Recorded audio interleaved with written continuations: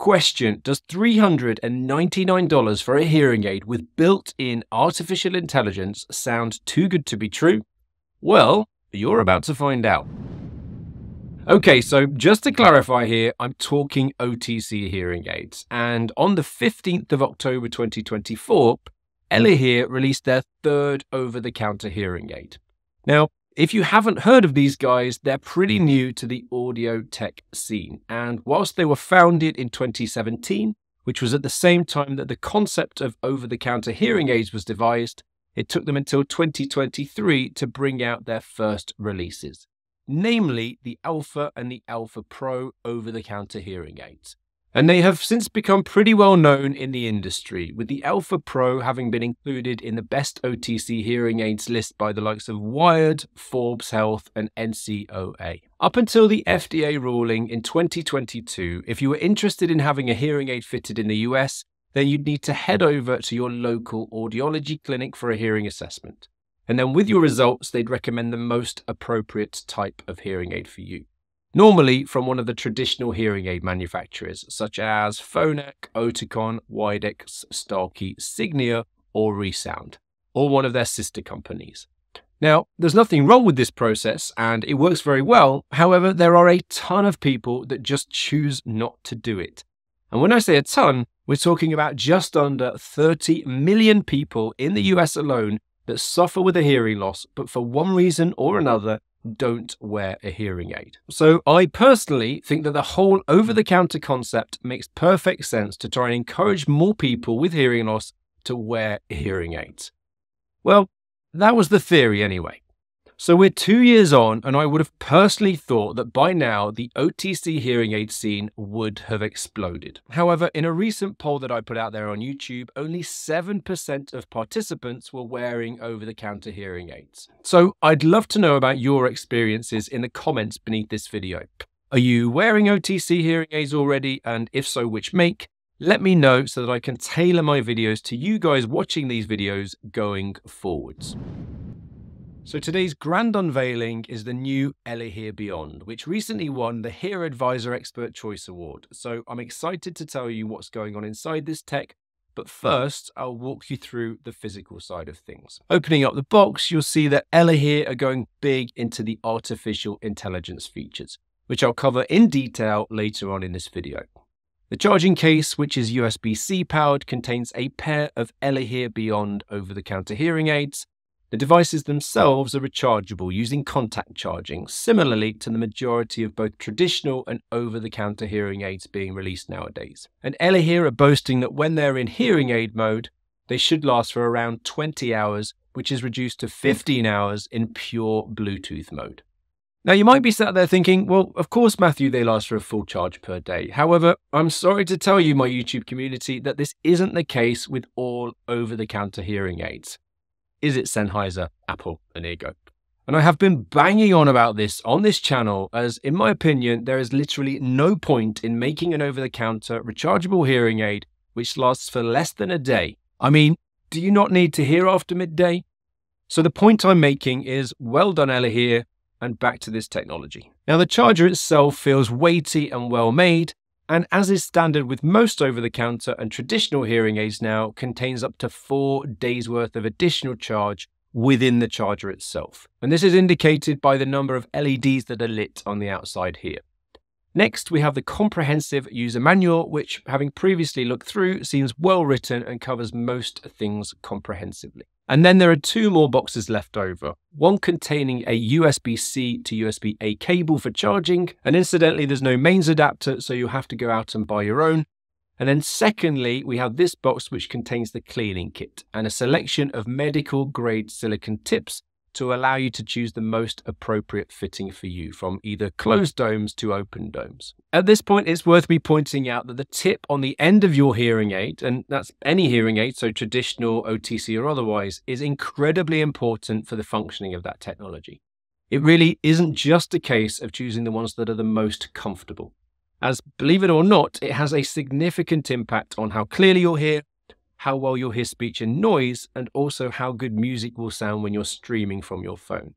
Now, sadly, it looks like Elehear have overlooked this and there are no recommendations on the most appropriate tip to use in their manual, which I have to be honest, I have found to be the case with the majority of OTC hearing aid manufacturers. Having fed this back to Elehear, however, I have been advised that they will be adding this to their manual going forwards.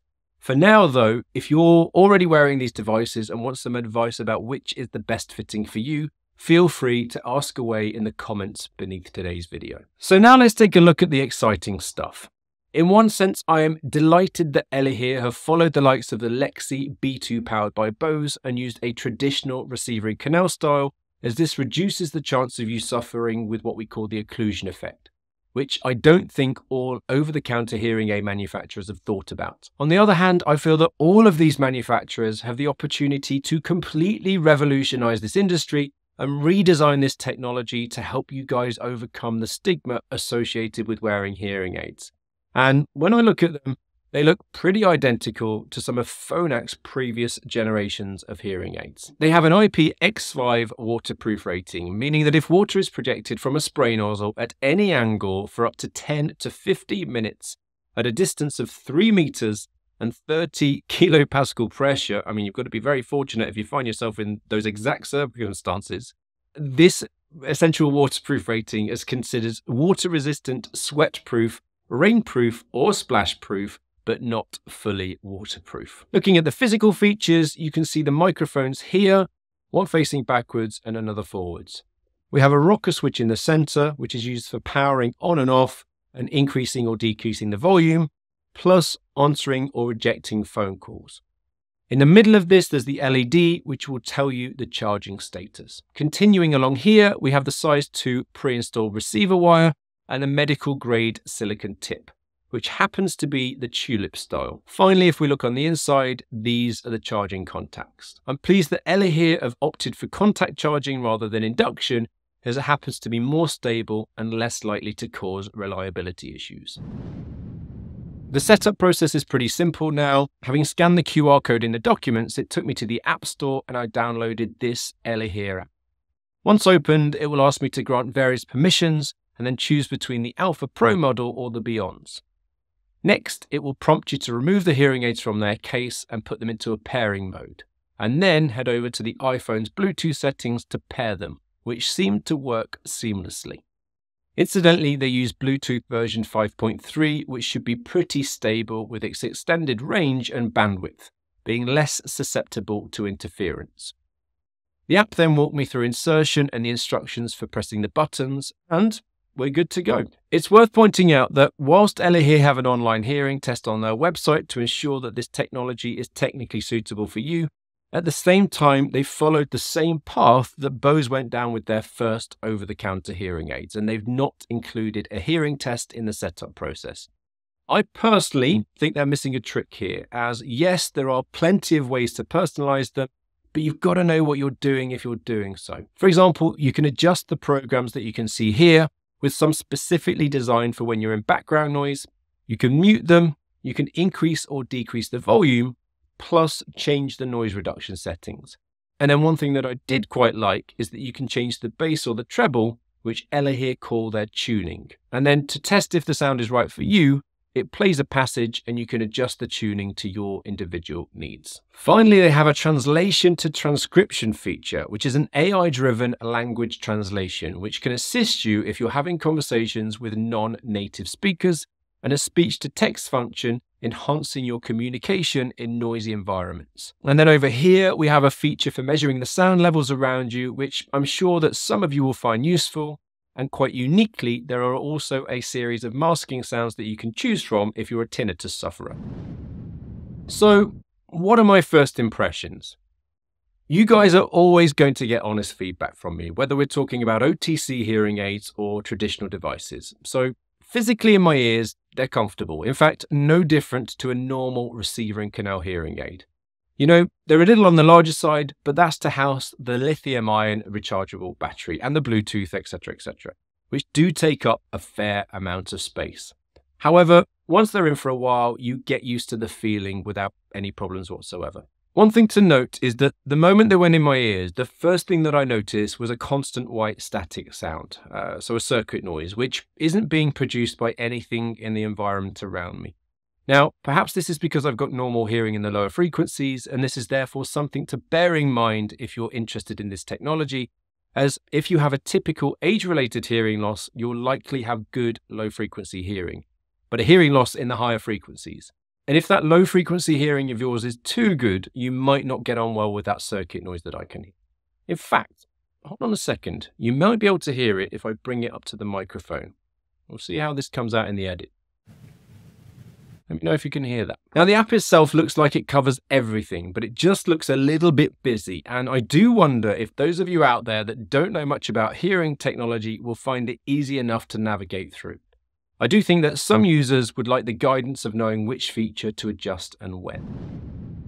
Now, I'm impressed that the hearing aids themselves provide 20 hours of use on a full charge, which normally takes around three to three and a half hours. And if you forget to charge them one night, a quick 15 minute turbo charge will give you six hours of life. Now, the reason that the charger itself is fairly hefty is because it holds four additional charges.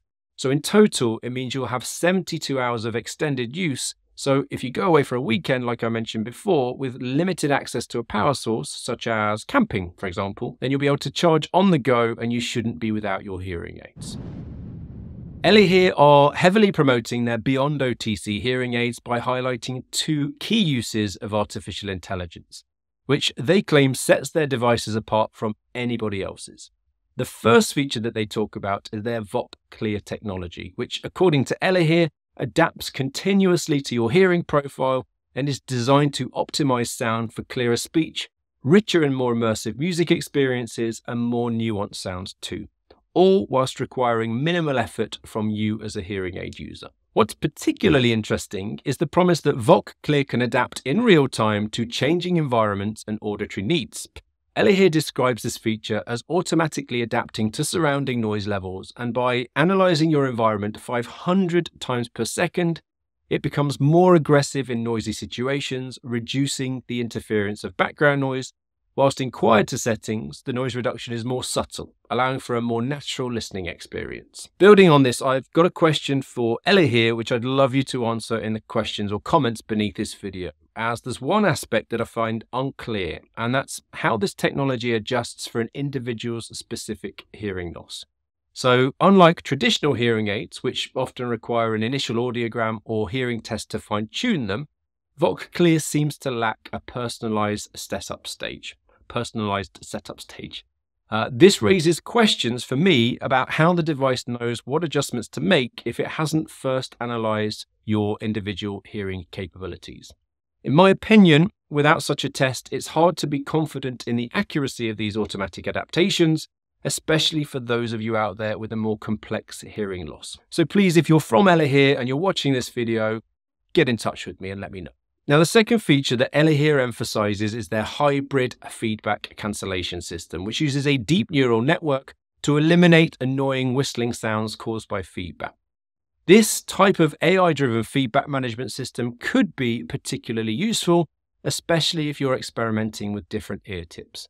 Again, different tips and different fits can increase the likelihood of feedback, so having an intelligent system that actively minimizes these disturbances without sacrificing sound quality is definitely an advantage. In my opinion, the use of a deep neural network in this context makes perfect sense, as these systems are adept at recognizing and responding to patterns, such as the early signs of feedback before they become noticeable to the end user.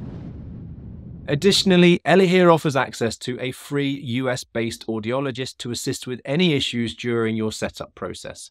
Now, in my opinion, being able to consult with a professional for troubleshooting or personalization advice is an excellent support feature that could be particularly helpful for those of you who may not feel comfortable with technology or who want to ensure that they're getting the most out of their OTC hearing aids. It's reassuring to know that if something feels off during the initial stages of use, help is just a single phone call away.